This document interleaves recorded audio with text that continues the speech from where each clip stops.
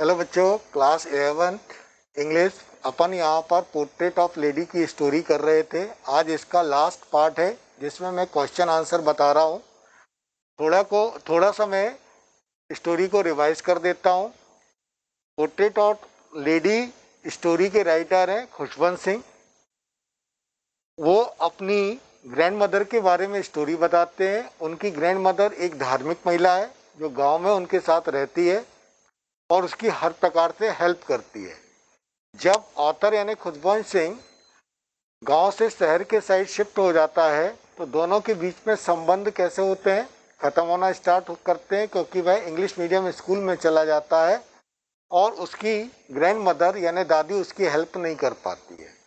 फिर ऑथर या खुशवंत सिंह विदेश चला जाता है और विदेश चला जाता है तो उसकी ग्रैंड मदर उसको सी ऑफ़ करने के लिए प्लेटफॉर्म पर आती है वह विदेश चला जाता है और उनके संबंध बहुत ही कम हो जाते हैं।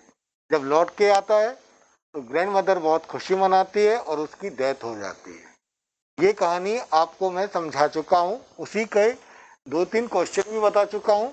एक क्वेश्चन ये है have you know something like a author grand mother Do you feel the same sense of loss with regards of some whom you have loved and lost?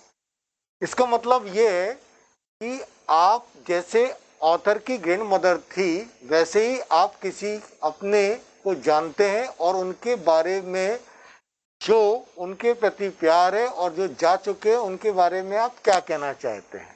तो ये मैंने लिखा हुआ है। Yes I have known my grandfather मैं अपने grandfather को जानता हूँ। Who loved me deeply and looked after me जो मेरे से बहुत प्यार करते थे और मेरी देख रेख करते थे he had serve in army before he retire as a colonel twenty years ago वो रिटायर होने के पहले आर्मी में 20 साल तक कर्नल के रूप में देश की सेवा कर चुके हैं। When he, when i was a school going kid, he was still active and smart. जब मैं छोटा था और स्कूल जाता था वो बहुत ही एक्टिव स्मार्ट थे। He was fond of walking jogging and playing outdoor game वो घूमने के जॉगिंग करने के और बाहरी गेम खेलने के बहुत शौकीन थे। He inspired us to get up early in the morning वो हमें सुबह जल्दी उठने के लिए प्रेरित करते थे। He believe that a healthy mind lives in a healthy body वह बिलीव करते थे, विश्वास करते थे कि एक स्वस्थ शरीर में ही स्वस्थ मस्तिष्क निवास करता है। He use to give us good physical exercise followed by milk and nourishment, food, and then ask us to study before, while, before going to school in the afternoon. वो हमारे को एक्सरसाइज वगैरह कराने के बाद दूध और पोषक तत्वों से युक्त भोजन कराते थे और हमारे स्कूल जाने के लिए, पढ़ाई करने के लिए प्रेरित करते थे। He would inquire what he had been taught at the school जब दोपहर को लौट कर आते थे, वह पूछते थे कि हमने उनको, हमने स्कूल में क्या पढ़ा। He would gentle but firm वो बहुत पोलाइट थे, लेकिन बहुत डर प्रतीक थे हार्ड थे। He laid stress on a good habit and character building वह अच्छी आदतों और अच्छा करेक्टर बनाने के लिए हमेशा एडवाइस देते थे। He passed away when I had gone abroad for higher study वो जब मैं विदेश चला गया हायर स्टडी के लिए, उच्च शिक्षा के लिए तो उनकी मृत्यु हो गई। आई मिस्ड हिम अलॉट मैं उनको मिस करता हूँ। A sense of loss feels me whenever I saw I see his portrait on the wall उनके प्रति मेरे जो भावना है उनके जो पोर्ट्रेट लगा हुआ घर में, उनके प्रति जागृत हो जाती है। But his cheerful looks remain me to take heart and fight and struggle of life लेकिन उसके कारण मेरे को एक नई चीज़ आती है कि मैं लाइफ का स्ट्रगल करूँ और अच्छा आदमी बन सकूँ। देखिए, ये छोटे छोटे आंसर हैं। पोर्ट्रेट ऑफ़ लेडी के बारे में question number one language do you think the author and his grand mother use while talking to each other इसका मतलब यह है कि उस ऑथर यानी खुशवंत सिंह और उसकी ग्रैंड मदर के बीच में कौन सी भाषा में बात होती थी? The author grand mother was not much educated author यानी लेखक खुशवंत सिंह की ग्रैंड मदर ज़्यादा पढ़ी लिखी नहीं थी. So I think the author and his my grandmother use to talk either in in their mother tongue in case Punjabi इसका मतलब क्या है? उसकी ग्रैंड मदर बहुत ज़्यादा पढ़ी लिखी नहीं थी इस, इसलिए वो अपनी मदर लैंग्वेज मातृभाषा पंजाबी में बात करती थी।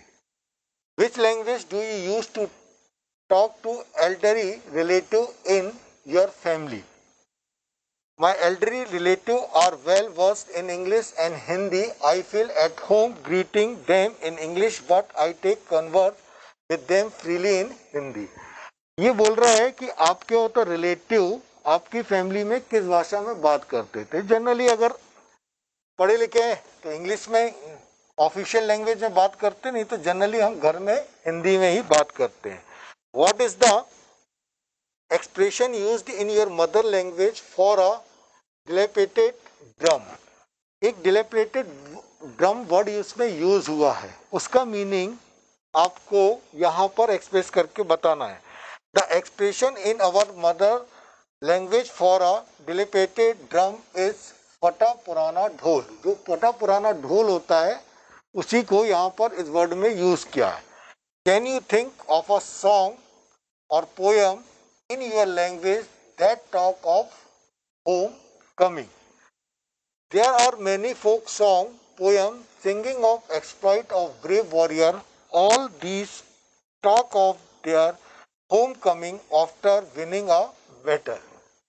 ये बोल रहा है कि जब कोई घर में आता है तो आप किस भाषा में किस तरीके से आप उनके सॉन्ग या गीत कैसे गाते हैं तो जब भी जनरली हमारे घर में कोई आता है या कोई युद्ध से लौट के आता है कॉलोनी में या शहर में तो हम उसको अपनी लोकल लैंग्वेज में ही गाना या पोयम सुना के उसका स्वागत करते हैं।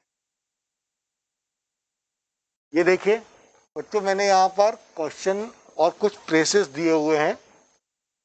मैं आशा करता हूँ कि आप लोग ने अंदर इस पूरे के पूरे कॉन्सेप्ट को पढ़ा होगा। मैंने समरी दी हुई है। मैंने क्वेश्चन आंसर दिए हैं, उनको पढ़िएगा। और ये क्वेश्चन हैं, इनको एक बार रीड करके, ये फ्रेसेस हैं, इनका आप मीनिंग मैच द कॉलम बना के रखिएगा। ठीक है? नेक्स्ट क्लास में अपन इसकी नेक्स्ट स्टोरी फोटोग्राफी जो एक पोएम के फॉर्म में है, उसको पढ़ेंगे।